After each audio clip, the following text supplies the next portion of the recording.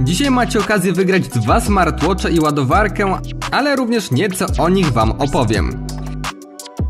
Zegarek w kształcie kostki z metalową kopertą. Jest ona dosyć masywna i daje wrażenie bardzo solidnej. Na froncie jest szkło hartowane, które przykrywa ekran. Na obudowie jest jeden przycisk, który mógłby mieć nieco większy skok. W zestawie mamy pasek silikonowy bardzo wygodny z systemem szybkiej zmiany za pomocą przesuwnych teleskopów. W zestawie dostajemy też bransoletę typu mesh pod kolor koperty. Jest to bardzo fajny dodatek, bo już na początek mamy możliwość personalizacji zegarka.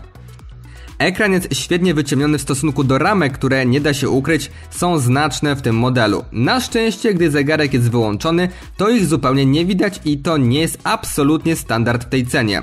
Sam ekran ma przekątną 1,4 cala oraz rozdzielczość 240 na 240 pikseli. Należy zdecydowanie korzystać z maksymalnego podświetlenia, bo szczytowo jasność tego modelu nie jest jego mocną stroną. Głębia kolorów jest fajna, balans bieli raczej zmierza w kierunku ciepłych barw. Zegarek oczywiście reaguje na gesty ręką do wybudzenia ekranu. Ciekawe jest to, że co zegarek Forever to zupełnie inaczej wykonane menu. Tutaj mamy kafelki zamiast pulpitu, z których wybieramy funkcje, które nas interesują. Jest też po lewej stronie lista tych właśnie opcji. Dodatkowych aplikacji tutaj nie doinstalujemy, ale to nie jest ten segment urządzeń. Skrót po tym, co tutaj jest. Oczywiście pomiar snu i pulsu, 6 trybów sportowych z pływaniem również. I tak można w nim pływać, bo ma certyfikat IP68. Zegarek też przypomina o braku aktywności przez dłuższy moment, czy konieczności napicia się wody co określony czas. Do jego obsługi potrzebna jest oczywiście aplikacja, a ta od Forever na pewno piękna to nie jest. Jest bardzo surowa prezentacja informacji, ale z drugiej przejrzystości nie da się odmówić. Z jej poziomu pobierzecie nowe tarcze na zegarek czy ustawicie specjalne przypomnienia. Opcje ustawienia celu aktywności czy wielu innych rzeczy są w ostatniej zakładce. Można tutaj też ustalić częstotliwość automatycznego pomiaru tętna. Zegarek oczywiście obsługuje powiadomienia, natomiast ten jak i drugi model, o którym opowiem wam za chwilę, z niewiadomego powodu lubi wysyłać powiadomienia z Messengera, że mamy otwarte dymki na smartfonie, co akurat może przeszkadzać. Bateria wystarczy na około 4 do 5 dni. Ładowanie następuje przy użyciu takiej jakby kamizelki na zegarek. Dosyć nietypowe rozwiązanie. W moje ręce trafiła wersja różowe złoto, a więc taka chyba raczej bardziej damska. Koperta wykonana jest ze stopu cynku, a ekran chroni zaokrąglone szkło hartowane. Efekt jest bardzo dobry, znany dużo droższych zegarków, a to już działa na plus. Powierzchnia ta trochę się palcuje, ale przez bardzo dobrze wyciemniony ekran i ramki tego aż tak nie widać. Na plus również, że i tutaj do zestawu dostajemy gumowy pasek, giętki, lekki z prostym zapięciem, jak i bransoletę typu mesh z magnetycznym zapięciem.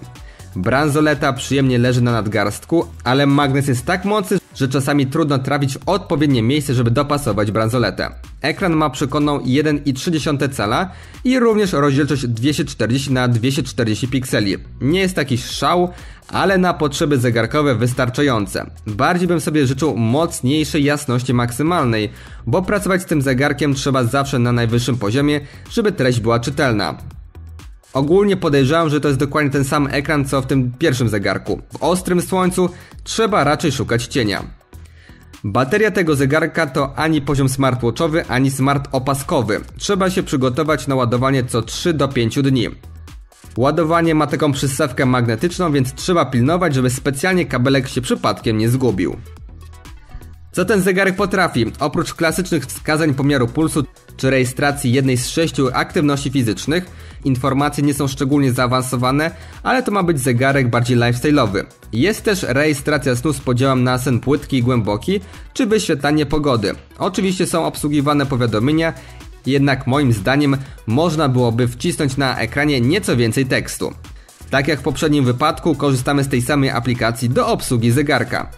Czasami zdarzało się, że on się rozłączał z telefonem. Nawiązywać połączenie można z powrotem jednym kliknięciem w aplikacji.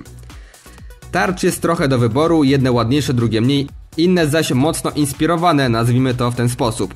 Coś dla siebie na pewno można wybrać. Jeżeli nie oczekujecie po smartwatchu cudów, ma on być dodatkiem do biżuterii, ale jednak coś umieć i przede wszystkim nie kosztować krocie, to można jak najbardziej na niego zerknąć.